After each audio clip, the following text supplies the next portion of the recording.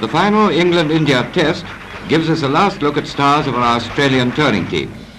Hammond, Hutton and Edrich are the slips trio, and Peter Smith of Essex will be among the bowling hopefuls, with Kent Evans behind the sticks.